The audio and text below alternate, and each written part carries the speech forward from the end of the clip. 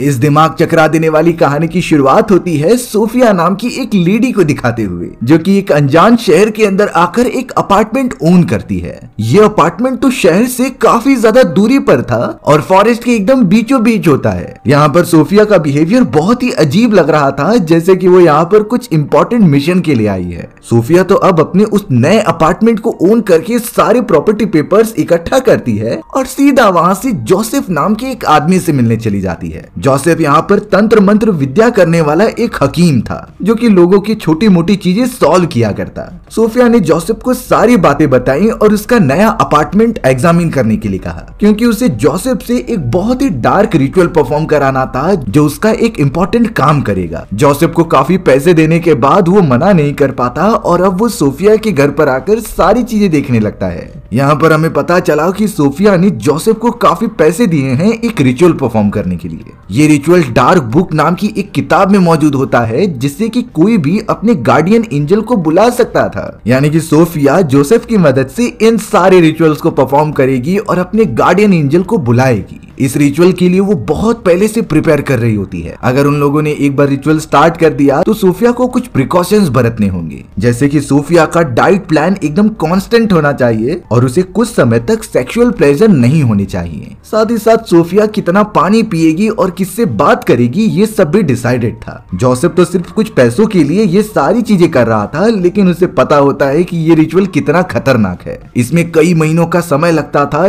जिसमें की सारी विधि कंप्लीट करने के बाद गार्डियन एंजल आएगा और उससे कोई भी विश मांगने पर वो उसे पूरा कर देगा। जोसेफ तो यहाँ पर सोफिया से एक बार पूछ लेता है कि आखिर तुम ये सारी रिचुअल क्यों कर रही हो? सोफिया ने थोड़ा सोचते हुए कहा कि मैं अपने प्यार को पाने के लिए कर रही हूँ। जोसेफ समझ गया था कि सोफिया मुझसे कुछ छुपा रही है। इसीलिए वो कहने लगा कि मैं ये विधि नहीं कर सकता जब तक तुम मुझे सच्चाई न बता दो। तब जाकर सोफिया उसे एक रियलिटी बताती है कि कई साल पहले उसका एक सात साल का बच्चा किडनैपिंग में मारा गया था। इसीलिए वो गार्डियन एंजल के सारे विधियों को पूरा करके उनसे अपने बेटे को वापस मांगना चाहती है। अब यहाँ पर हमें एक माँ का प्यार दिखाई दे रहा था सात साल के मरे हुए बच्चे के लिए। इसीलिए जोसेफ भी सोफिया का साथ देने से रोक नहीं पा रहा था। दोनों मिलकर किताब में जिस तरीके से स्टेप्स लिखे गए थे, उसे फॉलो करने लगे। अब हमें यहाँ पर सोफिया दिखाई गई, जो कि सुपरमार्केट में जाकर विधियों के सामान लेकर आ रही थी। वहाँ पर बहुत सारे सामान मौजूद थे, जो की इम्पोर्टेंट होंगे पूरे महीनों तक। उसी जगह पर सोफिया की एक छोटी बहन विक्टोरिया मिल गई थी। विक्टोरिया सोफिया को मना कर रही होती है, क्योंकि उसे भी अंदाज़ा हो गया था कि सोफिया किन बुरी राहों पर चल रही है। पर विक्टोरिया के बहुत समझाने के बावजूद भी सोफिया उसकी बात नहीं मानती और इसे यहाँ से जाने के लिए कहती है। विक्टोरिया अब उन सारे सामान को लेकर सीधा अपने घर पर आ गई, जिससे कि जोसेफ आगे का प्लान बता रहा था कि उन्हें रिचुअल किस तरीके से स्टार्ट करना है। साथ ही साथ रात के समय जोसेफ यहाँ पर सोफिया को वार्न करता है कि इस पूरी विधि के अंदर कई महीने लगेंगे और इतने ड्यूरेशन में वो घर से बाहर नहीं निकल सकते।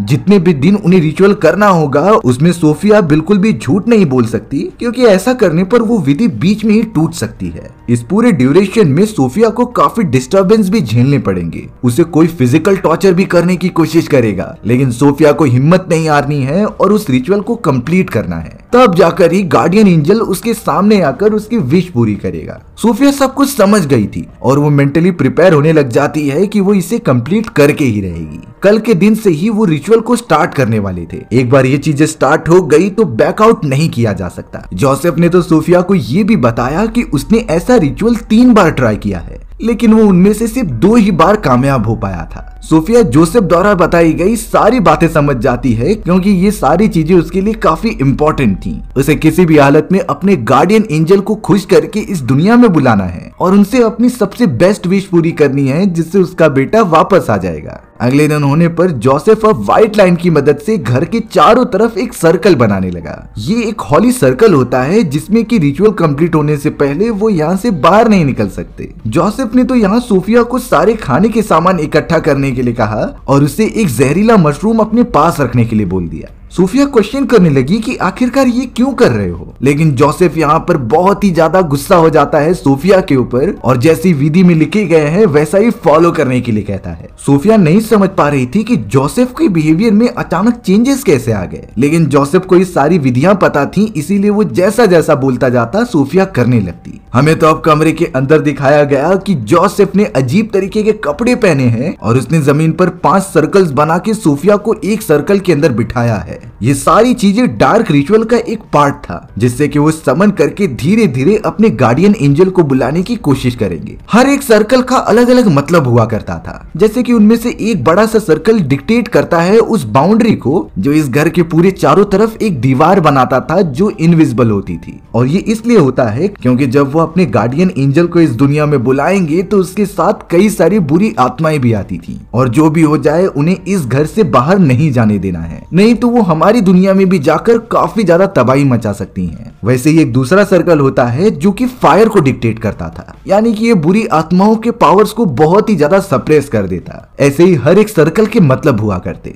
और उनमें से एक सर्कल के अंदर उन्हें गार्डियन एंजल को बुलाना होगा, जो कई महीनों की कड़ी तपस्या के बाद ही हो सकता था। धीरे धीरे समय बीता चला गया और वो अपने रिचुअल के ऊपर फोकस करने लगे। यहाँ जोसेफ ने सारी विधियाँ तो फॉलो की थी, लेकिन उस हिसाब से रिज़ल्ट नहीं मिल रहे होते। क्योंकि उन्हें पता होता है कि इतनी जल्दी कुछ नहीं होने वाला। उन्हें अपना ध्यान पूरी तरीके से एक जगह पर केंद्रित करना होगा, जब तक गार्डियन एंजल खुश नहीं हो जाते। अब यहाँ पर तो हमें इन सारी चीज़ों का असर सोफिया के ऊपर दिखाई देने लगा, क्योंकि वो मेंटली टॉर्चर होने लगी थी एक जगह पर रिचुअल फॉलो करते हुए। कुछ दिनों बाद तो अचानक एक चिड़िया आकर उनकी खिड़की से टकरा के मर जाती है। जोसेफ ने बताया कि ये ज़रूर इस रिचुअल के कारण हो रहा है। पर सोफिया को पता नहीं क्यों इन बातों पर विश्वास नहीं हो रहा था। फिर भी वो जोसेफ द्वारा बताई गई सारी चीज़ों को फॉलो करती है। अब यहाँ पर इसी तरीके से उस रिचुअल को फॉलो करते हुए कई दिन बीत चुके थे। लेकिन अभी भी उन दोनों को कोई भी रिज़ल्ट नहीं मिला होता और साथ ही साथ इसका भी कोई सबूत नहीं होता है कि कोई गार्डियन एंजल उनकी तरफ़ आने की कोशिश भी कर रहा है। जोसेफ ने तो सोफिया को ये कहा कि तुम्हें फॉरगिवनेस का रिचुअल परफॉर्म करना होगा। लेकिन सोफिया मना कर रही थी कि चाहे कुछ भी हो जाए, मैं फॉरगिवनेस का रिचुअल कभी परफॉर्म नहीं करूँगी। दरअसल ये एक रिचुअल का पार्ट था जिसके अंदर सोफिया को किसी इंसान का ब्लड पीना होगा और इससे ही वो अपने आगे आने वाले रिचुअल्स में गार्डियन एंजल को खुश कर पाएगी। जोसेफ ने तो सोफिया को ब्लैकमेल करना स्टार्ट कर दिया कि अगर तुम ऐसा नहीं करोगी तो तुम उनसे विश नहीं मांग पाओगी। इसीलिए अब सोफिया बहुत बार मना करने के बावजूद उस ब्लड को पी लेती है जो कि जोसेफ ने अपनी बॉडी से निकाला था, क्योंकि इस घर के अंदर उन दोनों के अलावा और कोई भी नहीं होता। सोफिया तो उसे पी लेती है पूरी तरीके से, और उसी मोमेंट की बात से सोफिया को घर के अंदर किसी के और होने का एहसास होने लगा। उसे ऐसा लगता कि कोई उसका पीछा कर रहा है, और कोई ऐसा साया है जो उसे हर वक्त नज़र रख रहा है। सोफिया ये फिगर आउट नहीं कर पाती कि आखिर ये अच्छा है या फिर बुरा,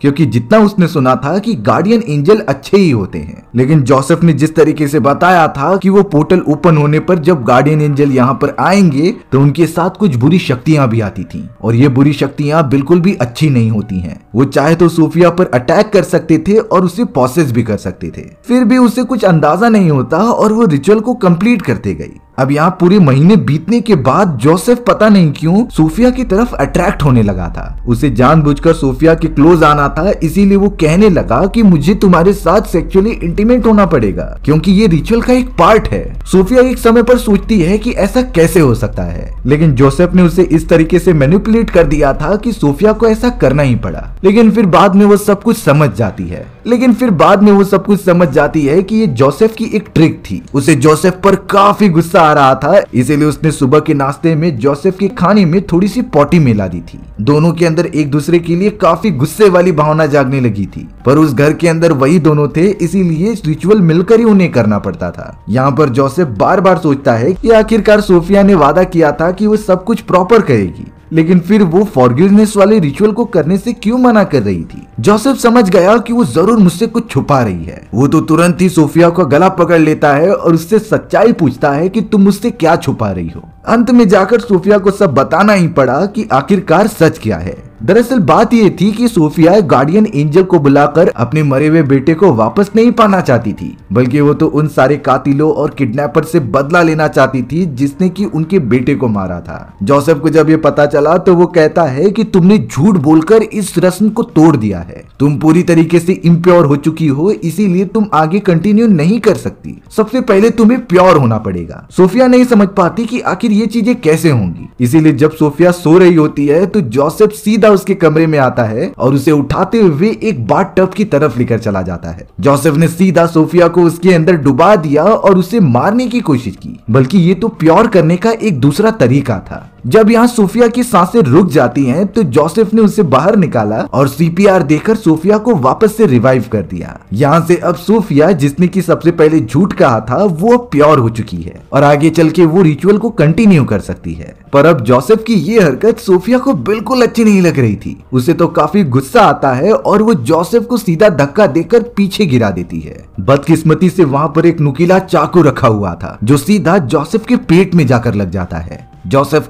काफ़ी ज़्यादा घायल हो गया और इसीलिए सोफिया उसके घावों पर बैंडेड लगाकर अच्छी तरीके से ख्याल रखती है। हालाँकि गलती उसके वजह से हुई थी, पर उसके अंदर जरा भी गिल्ट नहीं होता। अब अगले दिन से वो रिचुअल कंप्लीट भी करती और उस फॉरगिवनेस वाली विधि को भी आगे बढ़ाती। वो हर दिन जोसेफ का ब्लड पीती और उसे कुछ अजीब से विजन्स भी आने लगते। यहाँ सोफिया के साथ घर के अंदर कुछ अजीब सी चीज़ें होने लगी थी। वो सामने की तरफ़ किसी साय को इमेजिन करती, जो कि उससे बात करने की कोशिश कर रहा है। उस मोमेंट के बाद सोफिया बिलीव करने लगी थी डार्क मैजिक और नेचुरल शक्तियों के अंदर, जो कि वो शुरुआत में नहीं करती थी। उसे लगने लगा था कि अब वो रिचुअल के काफ़ी क्लोज पहुँच चुकी है और उसके गार्डियन एंजल आकर उसकी सारी विशेष पूरी कर देंगे। सोफी को तो घर के अंदर से कुछ आवाज़ें भी आने लगी होती है, जिससे की हम समझ गए की कुछ डीमंस घर के अंदर आ चुके हैं। यानी की वो पोर्टल जो की गार्डियन एंजल्स के लिए ओपन होने वाला था, उसे पहले ही डीमंस ने ओपन करके यहाँ पर एक्वायर कर लिया है। सूफिया पता नहीं क्यों बहुत ही ज़्यादा खुश रहने लगी थी। जैसे कि उसे लगने लगा कि गार्डियन एंजल आने वाले हैं। यहाँ जोसेफ के पेट में जो चाकू से वार हुआ था, वो इन्फेक्शनस हो गया था। उसका प्रॉपर इलाज ना होने के कारण अब धीरे धीरे उसकी तबीयत खराब होने लगी। और एक समय ऐसा भी आता है जब जोसेफ सोते सोते ही मारा गया। यहाँ सूफिया ज़्यादा डरती नहीं, क्योंकि अब उसने डिसाइड किया कि वह आगे आने वाले रिचुअल्स खुद ही परफॉर्म करेगी। जोसेफ के जाने के बाद सूफिया उसके सारे बुक्स को पढ़ने स्टार्ट करती है। लेकिन पता चला कि उस बुक्स को पूरी तरीके से क्रॉस कर दिया गया है, जिससे कि वो नॉर्मल तरीके से उसमें कुछ पढ़ ही नहीं पाती। और अब इन सारी वीडियो को ना समझने के कारण वो आगे कंटिन्यू नहीं कर पा रही थी। सूफिया तो जब एक कमरे के अंदर बैठी हुई होती है तो उसे अचानक कुछ डीमंस दिखाई दिए। ये डीमंस बहुत ही ज़्यादा खतरनाक लग रहे थे और काफ़ी डरावनी आवाज़ें करते हैं। वो बिल्कुल भी इन सारी चीज़ों में नहीं फंसना चाहती थी, इसीलिए सोफिया ट्राई करती है कि वो घर से बाहर निकल जाए। उसने लाइन को क्रॉस भी कर लिया था, जो इस विधि के एकदम अगेंस्ट होता है। पर सोफिया जब अपनी कार को जाकर चालू करती है तो वो कार का इंजन चालू नहीं हो रहा था, जिससे कि वो पैदल चलने का डिसाइड करती है। कई घंटे तक फॉरेस्ट के अंदर ट्रेवल करने के बाद पता चला कि वो घूम फिर कर उसी घर के पास आ चुकी है। यानी जब तक रिचुअल कंप्लीट नहीं हो जाता, वो यहाँ से नहीं जा सकती। सोफिया अब सीधा घर के अंदर जाकर एक जगह पर बैठ जाती है। पर धीरे धीरे अब लग रहा था कि उसके पास कोई आ रहा है। वो कोई और नहीं, बल्कि खतरनाक डीमंस थे जो पोर्टल की मदद से यहाँ पर आ चुके हैं। उन सभी डीमंस को देखकर सोफिया काफ़ी डर गई और वहाँ से भागने लगी। पर वो सभी अपनी काली ताकतों की मदद से सोफिया को पकड़ लेते हैं और उसे खींचते हुए सीधा बेसमेंट की तरफ़ लेकर जाते हैं। उन्होंने तो सोफिया की बॉडी पर डैमेज देना भी स्टार्ट कर दिया था। जैसे की डीमंस को इन सारी चीज़ों से मज़ा आ रहा हो। सोफिया चिल्ला रही थी, लेकिन वहाँ पर उसकी मदद करने वाला कोई भी नहीं था। डीमंस ने तो सोफिया की उंगलियाँ भी काट दी, जिससे उससे काफ़ी पेन होता है।